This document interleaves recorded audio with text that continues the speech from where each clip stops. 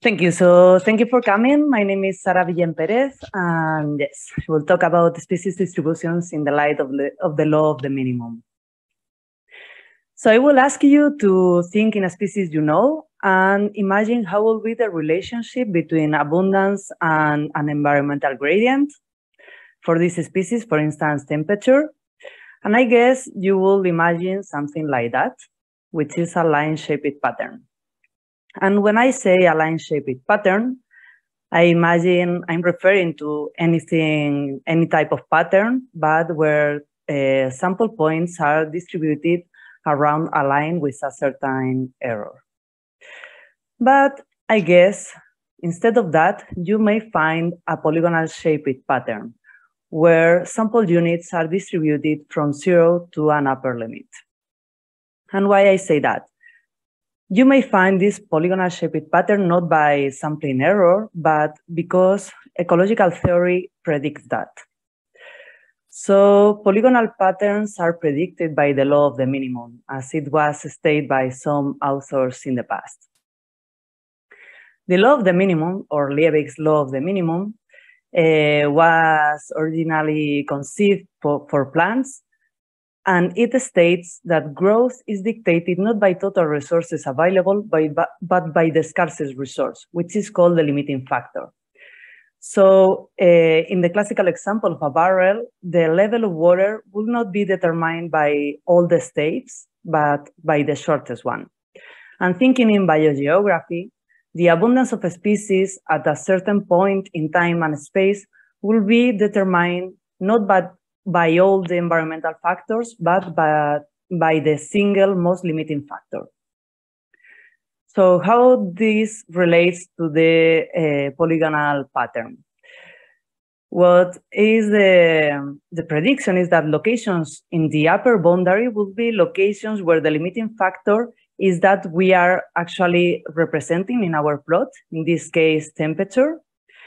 And locations below this, upper limit will be locations uh, that are limited, which abundance is limited by other limiting factors, different from the one we are representing. So here the important point, the interesting point is the upper boundary which represents the maximum potential abundance that the species could reach across the uh, environmental gradient we are measuring. And in the past, some authors called the attention of this and called for statistical tools to estimate the upper boundary. But today we have the answer and we know that we can estimate this upper boundary using quantile regression models. But what about these polygonal shaped patterns then? Are they really common and widespread?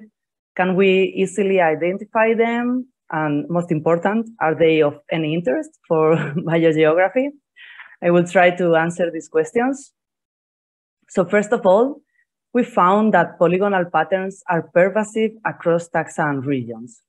So we found them in peninsular Spain, both in wintering birds and in breeding birds from different databases.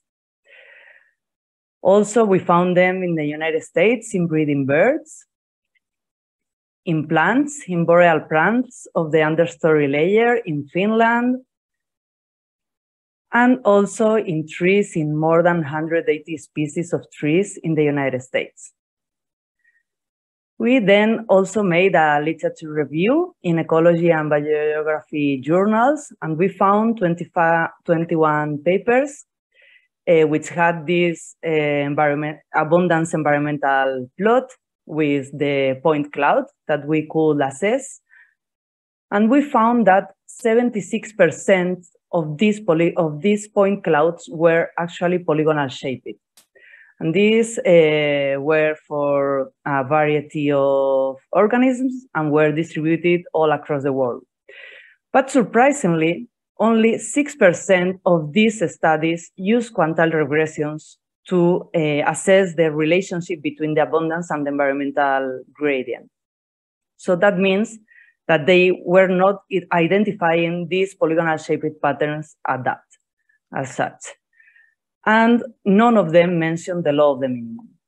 So even though we are aware that there are researchers using these uh, quantile regressions and, and acknowledging these type of patterns, we think that the community in general is not aware of the existence of these patterns and the, the theory behind that and the importance of them. So to help in this sense, we develop a new method to detect polygonal shaped patterns and the idea is very simple. We call it the filling index. So we what we do is to rasterize our um, point cloud. So we identify these cells where there is a data point, and we also identify the, the upper boundary. And then we calculate the occupation rate below the upper boundary assuming that polygonal shaped patterns will have a higher filling index than line-shaped patterns. To test it, we created uh, simulations for line-shaped patterns. So with that, we create a null distributions of filling indexes. And we compare that with the observed filling index we want to test. And we are able to distinguish between uh, distributions that are not significantly different from line-shaped patterns and distributions that are significantly different from line-shaped patterns. So this is not published yet, but we hope it will be soon. And we expect that will help uh, researchers to be aware of the, the shape of their distributions and thus the the theory and the methods that should apply to analyze them. And then most important, is this interesting for biogeography? I will bring here two main points. So the first one is that polygonal point clouds may inform about the fundamental niches of species. So we know, we all know that there are some locations where the, reali the realized niches of species does not match with the fundamental niches because there are competitor species that uh, constrain them further from that. But there may be locations where, where these two niches uh, match. And we, uh, our hypothesis is that these locations uh, where, the, where the species is reaching the fundamental niches are located in the upper boundary of the polygonal shaped pattern. So if we were relating the abundance of the species again, against temperature, this upper boundary of the distribution may be informing about the thermal fundamental niches of the species. And in this sense, we could be able to assess the fundamental niches for different uh, factors. So to test this hypothesis, we needed species uh, with known fundamental niches, realized niches, and abundance. So we work with virtual species, and I will not uh, go into details, but we uh, generated the fundamental niches for a variety of climatic and resource variables. Then we include interactive species, both facilitator and competitor species. So we have the realized niches. And uh, we include also dispersion and population dynamics. So we get the abundance of the species and we sample it to get the final uh, simulated database. And this is uh, how it looks, one of the, the first examples. So at this point, I, I hope you, you are thinking, wow, a polygonal shaped pattern, yes. But most interesting is that the upper part of the, the curve, as it was expected, is where we found the fundamental niches.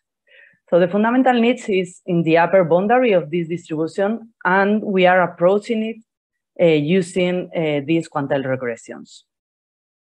So this is work in progress. This is uh, these are preliminary pre preliminary results but uh, they are suggesting that we may be able to estimate the fundamental niches of species through correlations, through correlative data, which could be uh, very interesting. The second point of interest is that limiting theory uh, may be useful for climate change biogeography. So we are able to forecast shifts in the maximum potential abundance of species, which means that we are uh, saying that the abundance of the species in the future will be at any point from zero to an upper limit.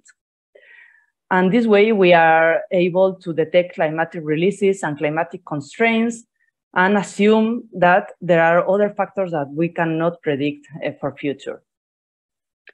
And we can translate this to, to community also, as we did for trees in the United States, where we predicted that climate change will lead to denser but less diverse forests in the future, with consequential uh, resilience uh, challenges, but also carbon sequestration opportunities. So to summarize, we think that the perspective of ecological limits offers promising opportunities both for theoretical ecology and climate change biogeography. And I would like to thank especially my co-authors and my funding agencies and collaborating entities. And thank you for your attention. I will be pleased to answer any question here or by email. Thank you very much.